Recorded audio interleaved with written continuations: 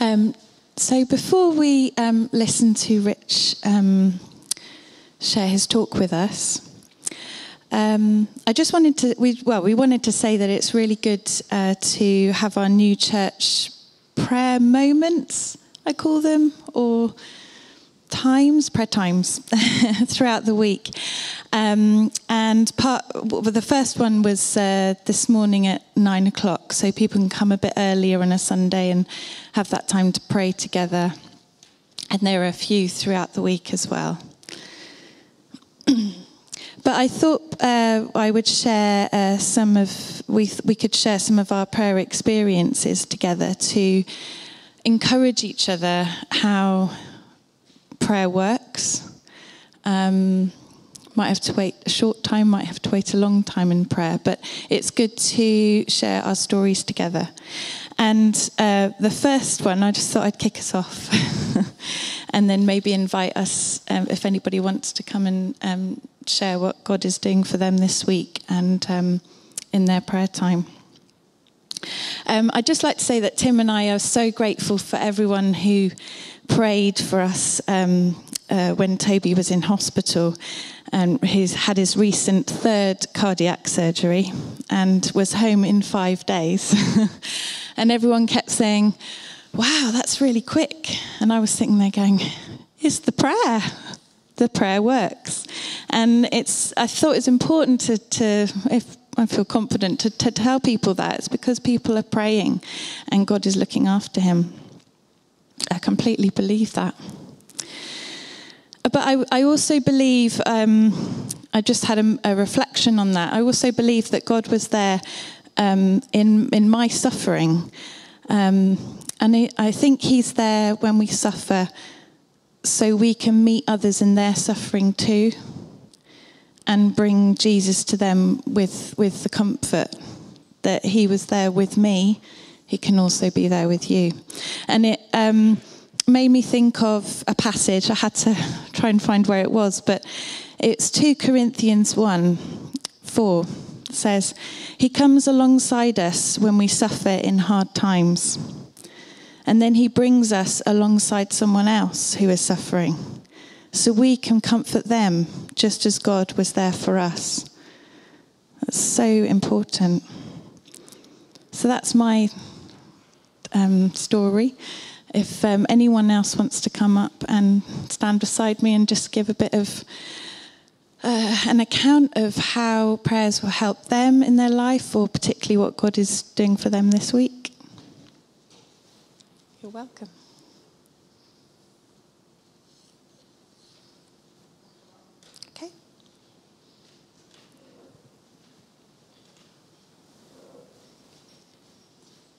Oh, you're right. As many of you, most of you know, Peter had cancer two years ago and he was healed from it.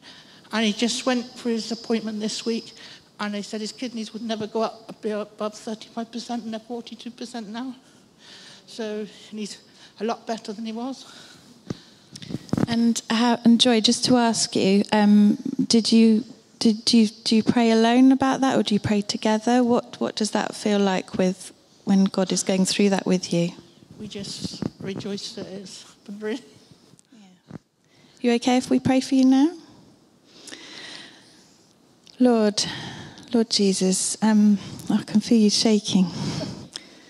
Well, first of all, thank you that um, Joy had the confidence to come up and share that because it really renews our um, belief as well in you Thank you that we're feeling safe, that we can share each other's stories together and gives us that little push, that bravery. We thank you so much that uh, a miracle happened in during um, Peter's treatment. We pray for them as a family. Pray for Joy and Peter as they go through this together. Pray the, for um, safety and warmth in their home. And we pray for them together in their daily lives this week. In Jesus' name, Amen. Amen. Thank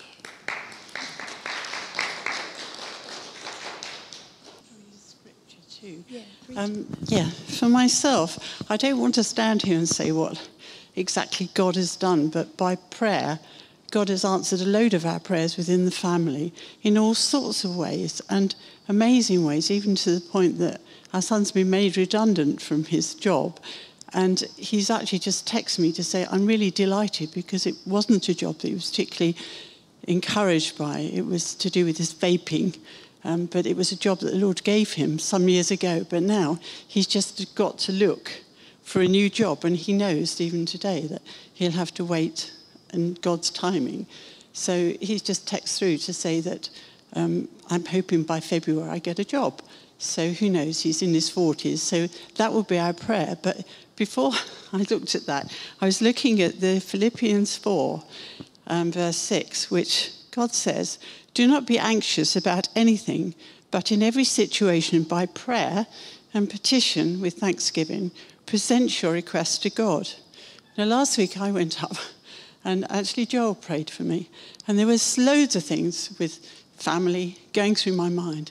And I thought, you know, when we have these opportunities for people to come up and pray with you, please take them up because it's not just our own prayer at home. It's actually good to have someone else praying with you. So, should that come up in a service or anything, I would encourage everyone to take that opportunity because I'm just a changed person. And God certainly answered our prayers this week. So, thank you. Thank you. Thank you. Anybody else? Yeah, Claire.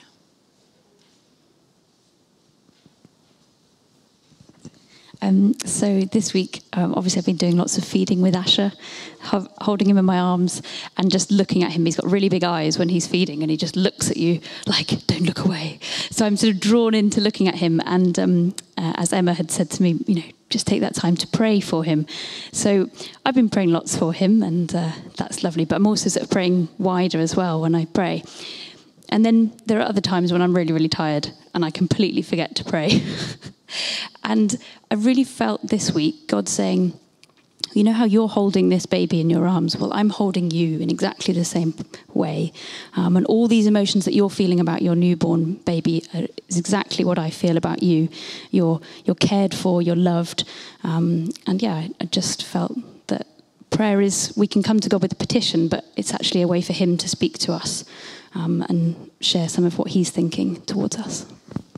Can we pray for you as a family?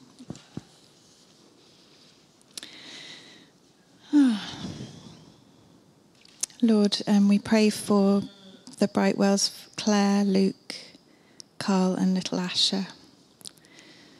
We thank you so much um, for the gift that Claire has and the perception that she, and the ability to sit and dwell and just take time when she's um, giving Asher his milk to, to feel that, that you're holding her too. We pray for them um, in their daily, hourly, minute by minute times with a new baby.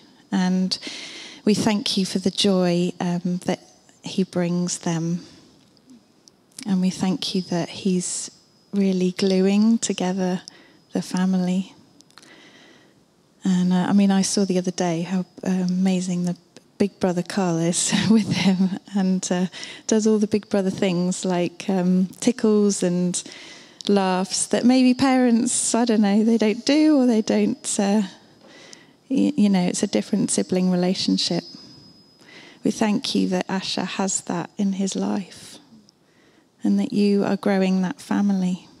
We pray for um, Luke as he goes to work and that he um, feels you at work and can concentrate on the importance there and then can wash that off and come home. And uh, I often you walk in the house and um, here, have the baby, kind of thing. um, and so we pray in the in the, just the I don't know, like the little stressful times and uh, the joyous times, the calm times, sitting together as a family, and that they can all have um, feel your your sense that you're with them. Amen. Amen. Yeah, do you want to come? Apparently, do you know the, that I see the ra- rabbit yesterday. So, so yesterday, so yesterday, um, I think it was last weekend or week before, uh, there was next door rabbit. I thought it got run over, and I thought, oh no, what's going to happen? So when I read the Bible in in John, it says to save the animals and the and listen to the birds and stuff. But I, lucky enough, the car wasn't there, but I saved it because I have, I'm allergic to guinea pigs and rabbits, and I had to go with a member of staff to take it to Catechum. Catechum I did to to the vets, and they know who it is. And this lady, this lady nurse was so kind and nice, and she noticed who it was coming from and know who house it was. So then I knocked on the door. My house, my staff, Sandra Lang, who's not he, yeah, he. She's been a little bit illness this week, but she supported me with the rabbit and stuff. And I felt, God, I say, God, thank you for saving that ra- rabbit, and I and I feel welcome to save it as well and listen to God more, a lot more God for the world I got really, and I'm so shocked that I saw it, and I'm very sure about that, and hope it doesn't happen again. Can we say a prayer for you? Yeah. Oh. That's oh, so wonderful. Thank you, uh, Lord, for um, Ziggy. He, when he sees a rabbit in distress, he the first thing he thinks about, or first thing that comes to his mind, is reading, and he thinks about you, Lord. Um, I wonder if we can reflect. Do we all do the same in a crisis? Do we all immediately? Maybe we do. Think about and pray to God. Um, we thank you so much for his complete trust in you and the gift that he has um, in caring for animals, and you've got such a gift caring with children and others. And we pray that um, you are with him this week in whatever he has to do. Amen. Amen. Well done. Anyone?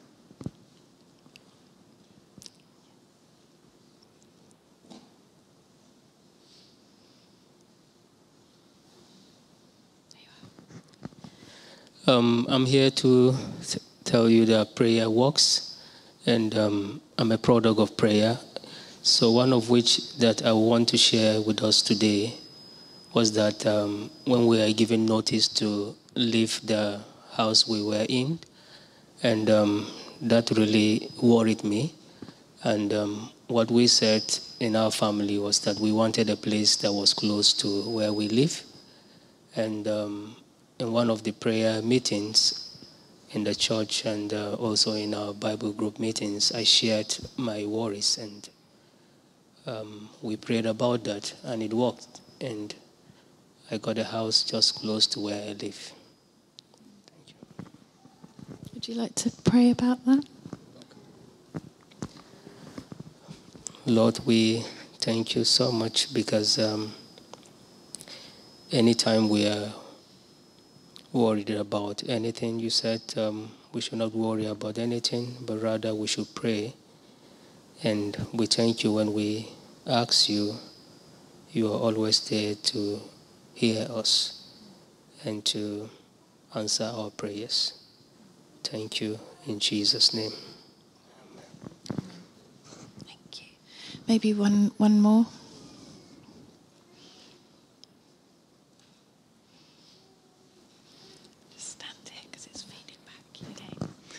Um, oh, I've come to share something that um, Blythe prayed about, actually, but I know she won't mind me sharing on, on her behalf. Um, it started um, back in New Wine in the summer, which was torrential rain, but great things came out of it. Um, we heard a, a, speaker saying, "Flex your faith, and faith is action, and start small. Grow your grow your spiritual muscles and." um, you know, you won't raise someone from the dead. You gotta, you gotta get there. You've got to um, practice. And the same teaching was taught in the children's groups, and they were told um, or encouraged to. Um, pray and ask God for pictures, which has really taken seed in Blythe's heart, and she will do that over anything, not not just um, particular things about how much God loves her or something quite abstract. Anyway, so this story is about a few weeks ago we were going to the Lake District and I was packing and it's October, so it's going to be pitch black by the time it's four o'clock in the afternoon. And Arthur got given a little head torch, which is going, was so, so useful. But could I find it the night before? I could not. I ransacked the whole house, and it was our only torch, and I knew that it had batteries, and I also knew that we'd be definitely going to the pub and coming out of it after 4 p.m. So I was like, we need this. we need this head torch. And it was the morning, the morning that we were leaving, and um, I gathered the children. I was like, Blythe, you ask God for pictures. I was like, can you ask God for a picture? Can you ask him where this head torch is? It's, it's like, it's about an inch square. It's the tiniest with with elastic around the head. It's the tiniest thing. I was at my wits' end. and um, so we had a little pray, just me. Uh, Dan was loading the car, me and the kids. I was like, Blythe, you lead this. Um, and so she, we carried on looking. We prayed, N- nothing, nothing religious. Just Lord, please give me a picture of where the head torch is. And uh, we all said amen and carried on looking. So it's like we have to keep looking. We can't just stop. We've got to keep looking. And then, and then out of nowhere, and she was saying, Mummy, I don't know, I don't know, I haven't, I haven't got anything, I don't know where this is. And then she goes, I do know, I do know. I've seen a picture of the wooden till. Now we've got this pretend toy till that we play shops. And it's got a little drawer and it's got little buttons and a calculator. And so we went and got this till and we opened the drawer and lo and behold, inside the drawer is the head torch. And then Arthur goes, Oh yeah, I used it as money yesterday. but um, it's a really small thing. It's a really small thing. It's like praying for a parking space sometimes. You think, oh God, do you, do you care? Or, or should I ask you to care about this? But it's also a really big thing that a child came before a Heavenly Father and asked for help and got tangible help. And we then immediately prayed and thanked God for that. And when we were using our head torch in the holiday, we remembered it. And it's a big thing for our family that Blythe had a word from the Lord. And she shared that with people and shared it with her family. And um, I as well, I'm so encouraged about that. So I thought I would share that with you. Can you say thank you to God for our prayer? Yeah. um, yeah, Lord, thank you that you uh, are the God of, of the big things and the God of the little things, and nothing nothing is too small. You know, um, you know when a bird falls from the sky, you know the number of hairs on our head, and um, I pray for us all that we would all be encouraged by uh, the faith of a child. Um, that we, we would also be able to come to you and, and, and ask uh, for pictures and words of wisdom um, and know that you answer and know that it doesn't always happen straight away, um, but that you do answer and that your heart is to have a relationship where it's not just us petitioning up, but there is, there is um, relationship coming back down to us. Um, thank you, Lord, for answering Blythe's prayer. Amen. Thank you. That was such a valuable time. Rich, would you like to come and share with us?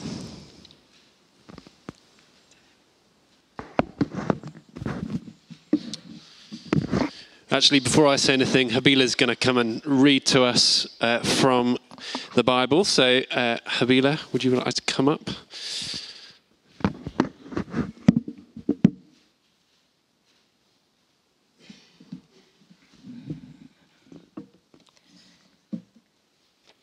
Matthew.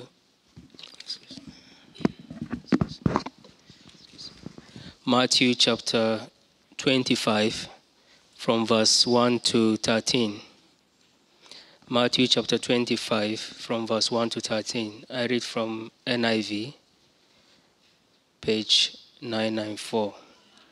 At that time, the kingdom of heaven will be like ten virgins who took their lamps and went out to meet the bridegroom. Five of them were foolish, and five were wise.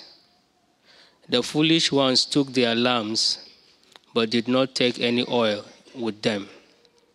The wise, however, took oil in jars along with their lamps. The bridegroom was a long time in coming, and they all became drowsy and fell asleep.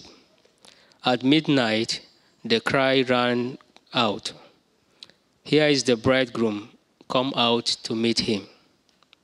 Then all the virgins woke up and trimmed their lamps. The foolish ones said to the wise, Give us some of your oil. Our lamps are going out. No, they replied, There may not be enough for both of us and you. Instead, go to those who sell oil and buy some for yourselves. But while they were on their way to buy the oil, the bridegroom arrived. The virgins who were ready went in with him to the wedding banquet, and the door was shut. Later, the others also came. Sir, sir, they said, open the door for us. But he replied, I tell you the truth, I don't know you. Therefore, keep watch, because you don't know the day or the hour. This is the word of the Lord. Thank you, Habila. Um, I'm just going to pray before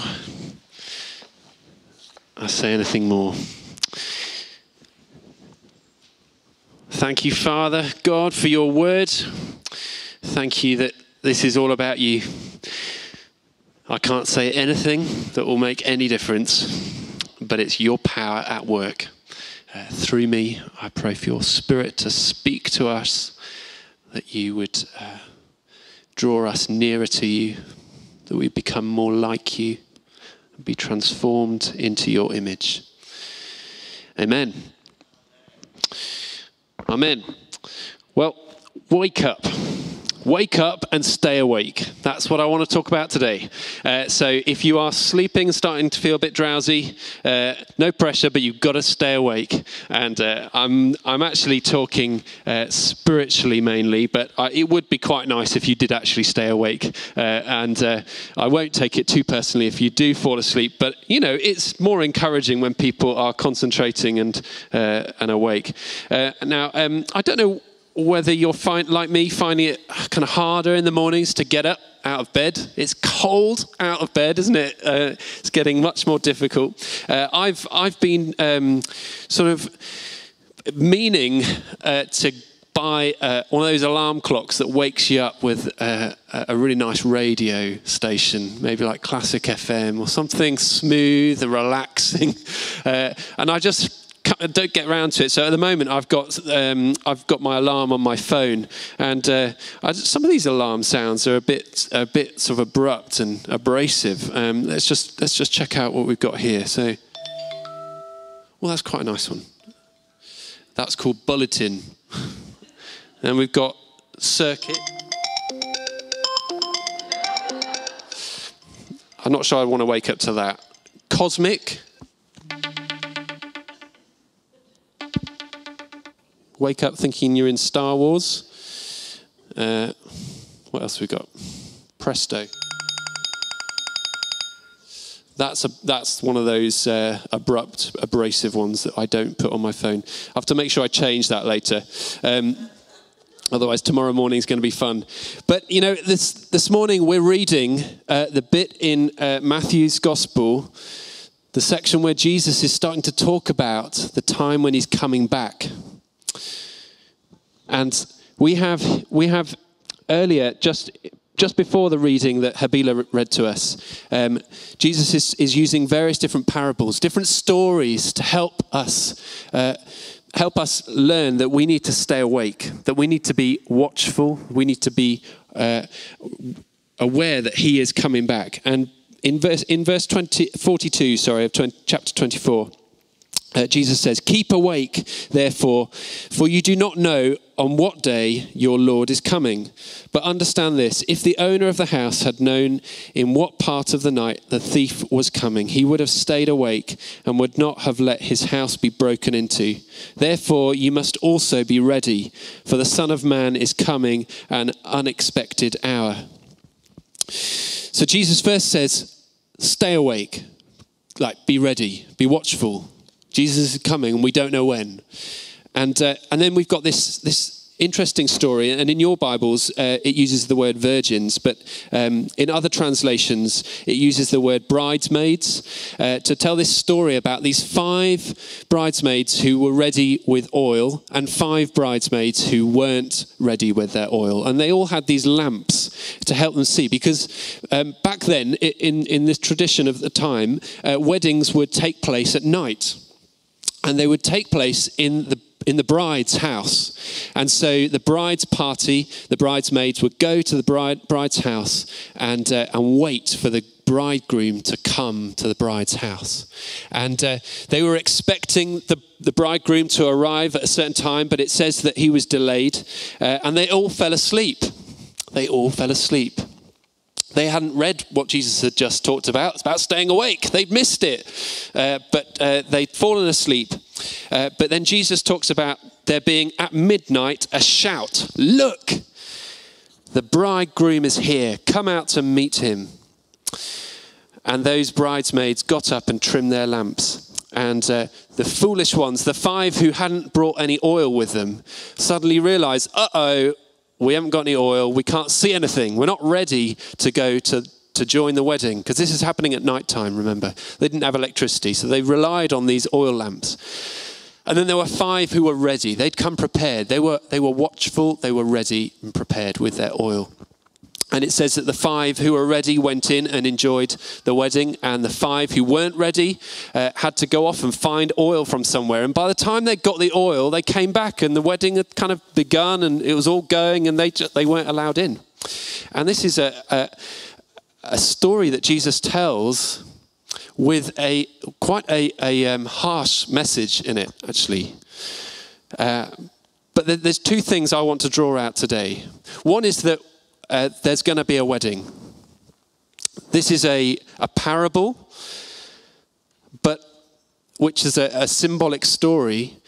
But actually, throughout the Bible, we have this, this, um, this symbol, this picture of a wedding that's going to happen between uh, the bride of Christ, that is the church, and the bridegroom, who is Jesus. And one day, we will, we will be invited to that wedding as the bride of Christ. We're invited because we are meant to be the bride. Now, for, for, for ladies here, you've got to get used to being sons of God. And for gentlemen, we've got to get used to being the bride, okay? Jesus says that he's the one who's coming back. He's coming back for his bride. And if you're asleep or you're not ready when he comes, then you're not coming in, is the message in this story. So, are we awake for this wedding? Are we ready? You see, you can't be a Christian on your own. The bride of Christ is a group of people, it's not just an individual, it's a church. We are the bride. We are his bride here in Twerton. So, what kind of bride do we want to be found to be when Jesus comes back? When the bridegroom returns to invite us to the wedding? When there's that shout saying, Here he is, he's coming. How do we want to be found? What kind of church do we want to be? If Jesus returned today, because it, the Bible says we don't know the hour, we, we don't know when it's going to be. It could be today. How would you live today differently? If you knew that he was coming later this afternoon, for instance. What would you be sad about or sorry about if he returned today? Maybe thinking, oh, I didn't get round to doing that. I was, re- I was saving up money to go on that trip, or hadn't found Mr. or Mrs. Right yet, or whatever it might be that you've been hoping and dreaming of.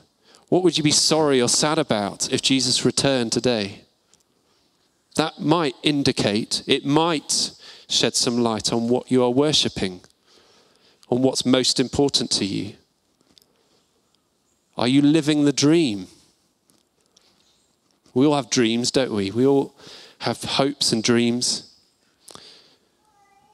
But what about if you're living the dream meant that you're actually asleep? We all dream when we're asleep, don't we? But are we awake to the reality of God's kingdom? Is God's kingdom the most exciting, the most amazing thing that you're living for? Or is it some other dream? And just church kind of fits in as a nice sort of part of your life, sort of an add on to make you feel like you're living a good life It can be easy to just fall into the trap of just being a half asleep Christian. I know, I know I feel that temptation myself. You see, the king comes twice. The Bible talks about the king coming once when Jesus was born in a stable, grew up to become the savior of the world. But he came looking for voluntary surrender the first time. He came sort of bringing his good news of the gospel of the kingdom of God, of an invitation to come and be part of this bride. But he didn't force anyone, he didn't come with power and the authority of kings and queens and emperors at the time with an army.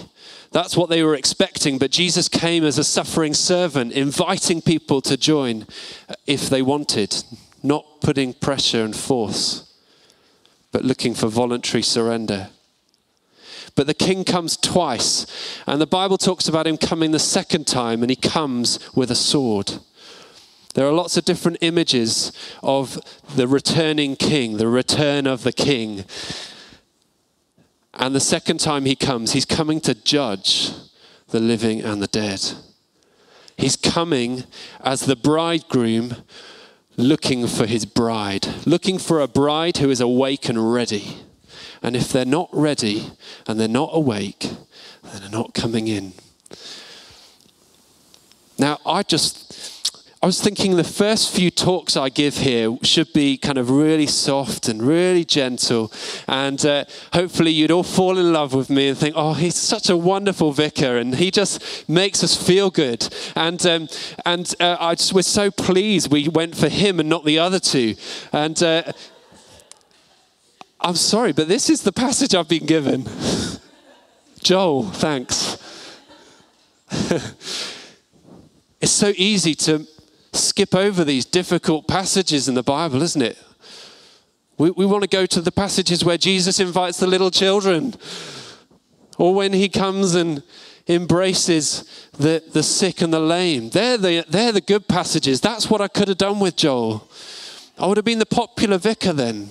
But now I've got to preach about judgment and people not getting in, people not being ready. But this is what Jesus has said. We don't just get to pick and choose.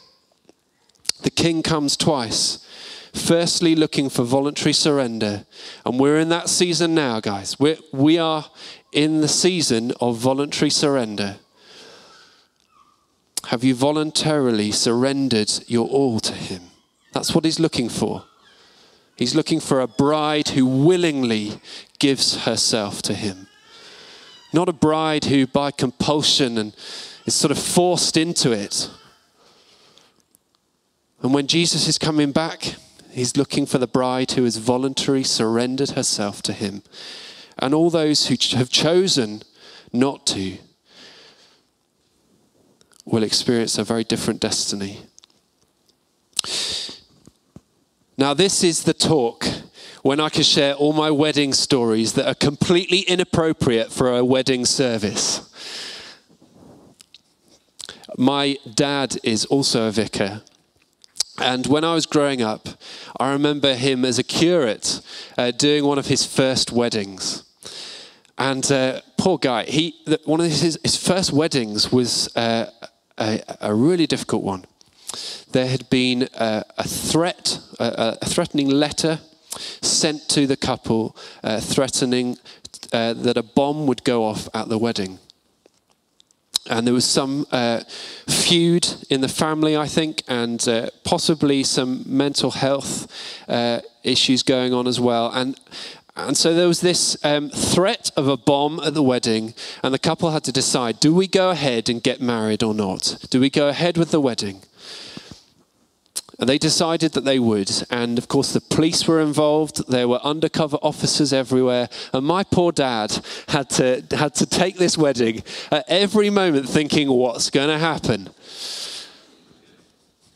Especially that slightly awkward pause in the wedding where, where you say, Is there any reason why this couple may not be married? Awkward pause, phew, no bomb.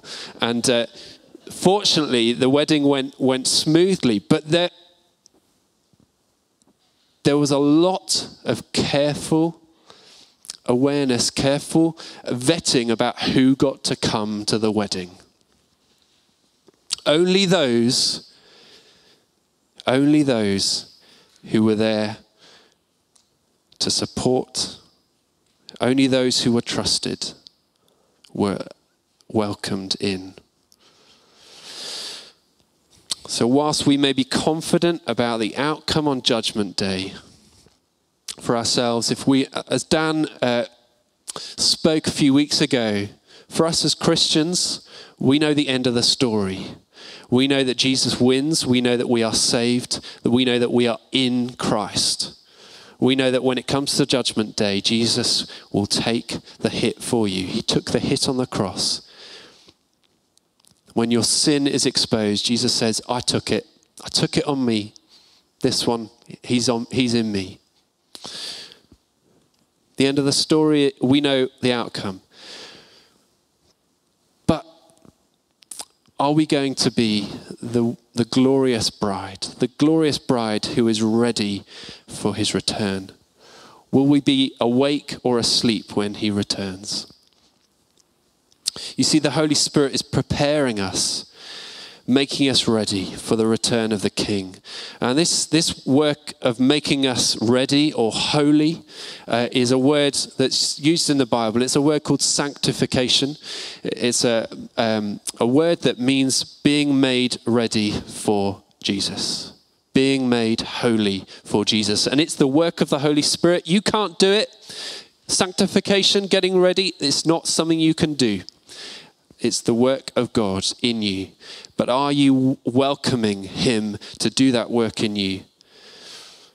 Are you living some other dream or are you awake and ready to the Holy Spirit?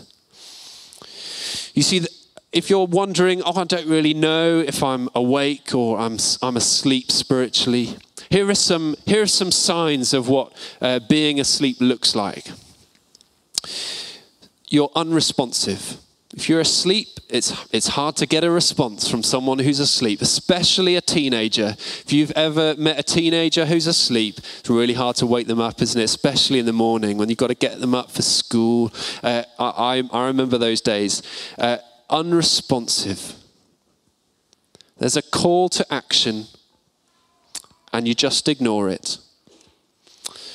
You're too busy to pray, praying's too hard, it's too loud, it's too quiet. Just leave me in peace. There's a call to action, and you just ignore it.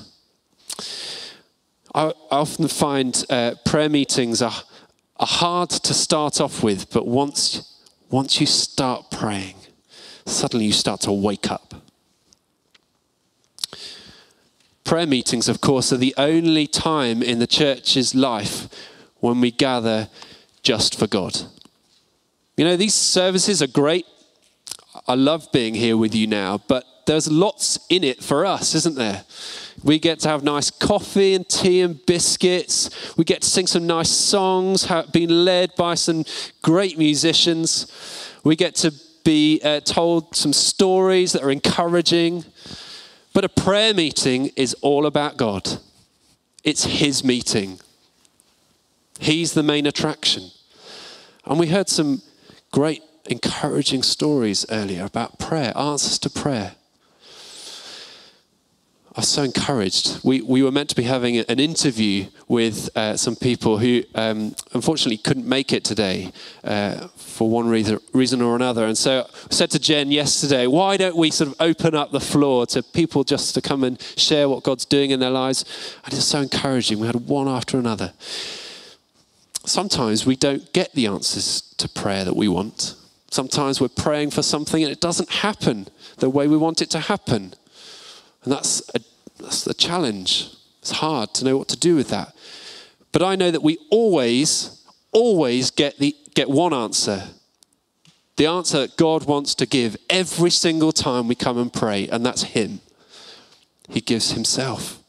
Whether you get the answer you want is another question, but He always gives the answer He wants, and that's Himself. And an awake church is a praying church. A sleeping church is a church that ignores prayer.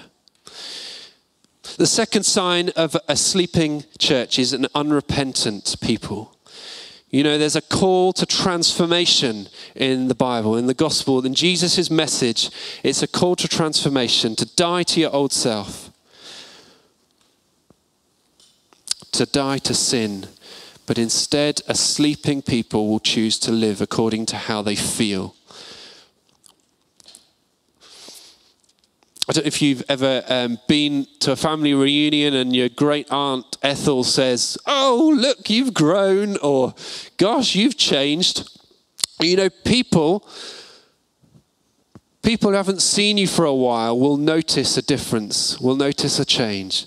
But often when you're just living amongst each other, or you're, you, you, you're in a daily, daily rhythm of life, you don't notice the change. You don't notice where, whether you're becoming more sleepy or more awake, whether you're falling back into old patterns of sin, of your old ways of doing life, of living like you feel, or whether you're gradually putting those things to death. It's often only when others who haven't seen you for a while notice a sleeping church is an unrepentant church, a church who doesn't want to change, who lives according to how they feel. A sleeping church is an uninspired church. You've left others to do the work of discovering God for you, and you're wanting to be fed and looked after. Maybe you're hunting for the best worship music for great teaching. You can get everything on the internet now. You don't really need to come to church anymore, do you now? You can just uh, listen to all of the, the greatest Hillsong hits and then be inspired by some preacher from America.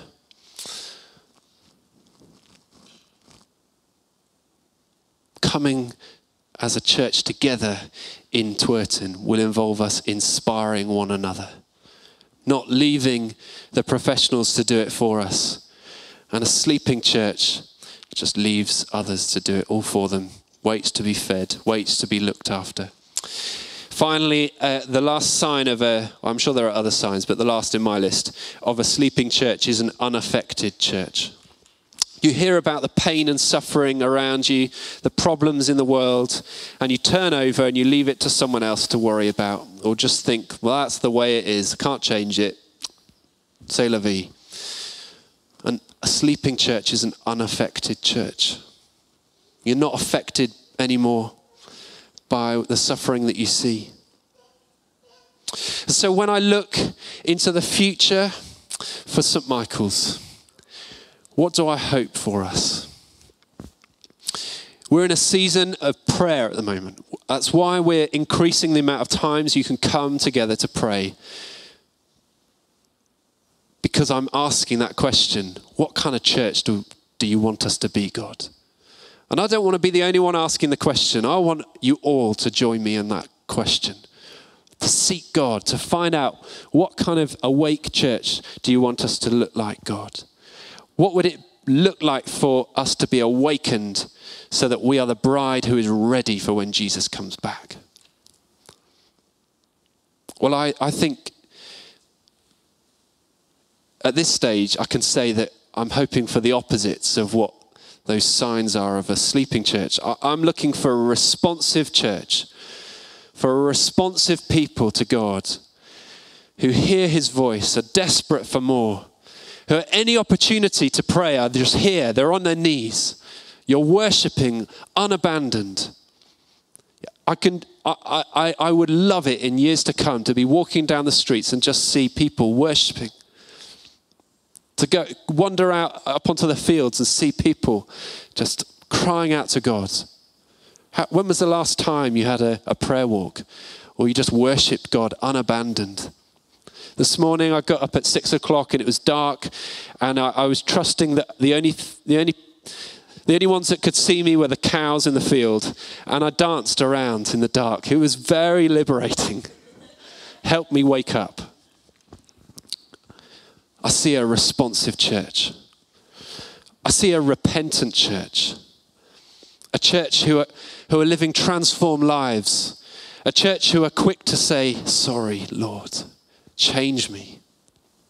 Thank you for your forgiveness. Thank you for your grace. I'm going to choose not to live by how I feel, but to live for you, to live by your word, to live radically different lives in our culture so that in your workplace, people are just looking up, suddenly aware that there's someone very different who lives by a different culture. Your language will change, your habits will change. A repentant church is an awake church. An inspired church and inspiring each other. We're deeply rooted in God, living lives built on His truth and empowered by His Spirit to inspire others. And finally, an awake church. The church I see in the future is a, a church affecting change. And we're doing amazing things in this community. Just I, I'm so inspired by what I see in the likes of Rose Cottage and in the school and in, in, in what God's doing through our young people. It's really encouraging. But we can do all of that. We can do all of that very easily by just paying others to do it. What if we were all involved in affecting change in this community? What would, what would it look like to make a tangible difference in this community?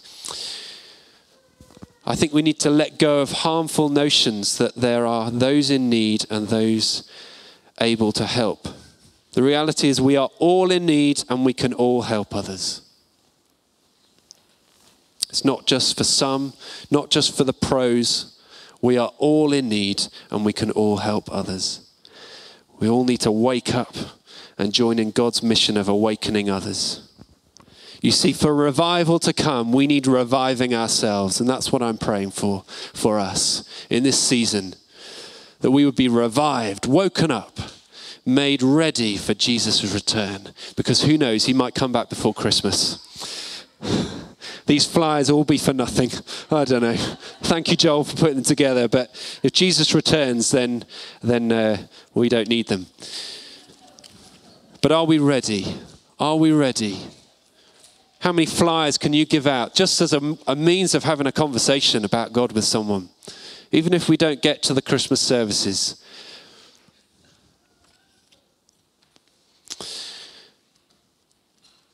Now, as I said before, this reviving this work of waking us up is the work of God. It's not something you can manufacture or create yourselves. In the, the book of Revelation, I finish with this. In Revelation chapter 22, the last chapter, it says, The Spirit and the bride, the Holy Spirit and the bride of God, that's us, say, Come. And let the one who hears say, Come. Let the one who is thirsty come. Let the one who wishes to take the free gift of water of life come. If I can invite the worship team to come up. There's an invitation now. We haven't got long because children are coming back in and they're going to want to have biscuits. But this is a time to come, to respond, to be a responsive, repentant, inspired, affecting change church. Let's stand if you're able. We're just going to take a moment now just to allow God's Spirit to awaken our hearts, to quicken our minds, to maybe bring areas in our lives that maybe you, you want to just come and respond. And I'd like, to, I'd like us to do that in a practical way by actually getting out of our places and coming forward if you want to. Or if you're unable to stand and move forward, then you can just raise your hand and someone will come and pray for you. But those who can move, I'd encourage you, if you want to respond, if you want to be awakened by God's Spirit, then to come forward as we sing our uh, final songs. And a number of us would love to pray with you, just to pray for God's Spirit to awaken you. Amen. Joel's going to lead us, but those who want to come and respond, come forward now.